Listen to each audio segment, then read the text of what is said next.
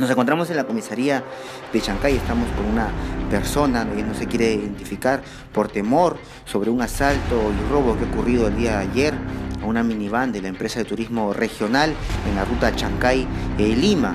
Eh, cuéntanos, ¿qué, qué nos puedes eh, dar a conocer sobre este asalto? Ayer eh, viajé para Lima y en el paradero de Chancay subí a una minivan de, de turismo regional y subieron tres individuos y de, de pronto el pasajero que estaba a mi costado eh, nos, en- nos encañonaron, encañonaron al conductor y querían que baje el conductor para, para así llevar la unidad, pero de ahí se, el conductor este, arrancó el vehículo ya y quedando los, los delincuentes afuera. Ya ¿Cuántos sujetos eran? tres sujetos. Sus características, tal vez su edad que tú, ya- que tú hayas podido ver. Estatura mediana de 21 años a 25 años nada más. Tú, estabas, ¿Cuántos pasajeros iban en el interior? ¿Estaba lleno la minivan?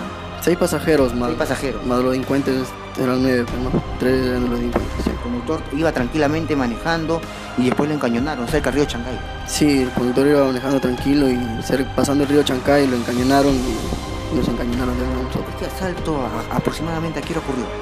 7 y 15, 7 De la noche. de la noche, sí. Ellos no estaban encapuchados, estaban así eh, normal. Subieron al vehículo normal. Sí, subieron normal, nomás no, no tenían nada de capucha, no, no se cubrían el rostro con nada. Por ejemplo, y a todos los pasajeros que le robaron. Sus pertenencias que tenían a la mano. Celular, tal vez eh, documentos de identidad, todo. Sí, este, celulares y sus pertenencias, unos documentos. El conductor también lo, le golpearon, tal vez. Se resistió el conductor al robo de su unidad. Claro, el conductor se resistió al robo de su unidad. Pero los sujetos, ¿con qué, hacia qué dirección se fueron ellos huyendo? En dirección al colegio de, de ahí de Chacrimán.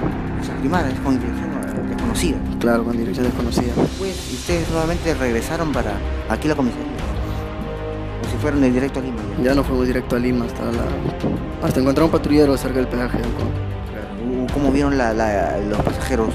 Eh, ¿Desesperación, terror, pánico? ¿Cómo lo notaste? Estaban callados. Claro, todos entraron en show ahí por, ahí por nos encañonaron a todos, pues, ¿no? Y el pánico ya se apoderó de nosotros, pues no pudimos hacer nada. Ahora tú como pasajero, eh, tú, eh, tú has puesto la denuncia aquí en la comisaría de Chancay.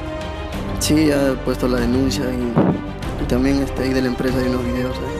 Claro, ahora sí, conocemos que también en la empresa eh, cuenta con cámaras de seguridad y la policía ya tiene en manos estas imágenes y al parecer ya los tienen identificados y pues ya estamos tal vez a- hablando de pocas horas de su captura.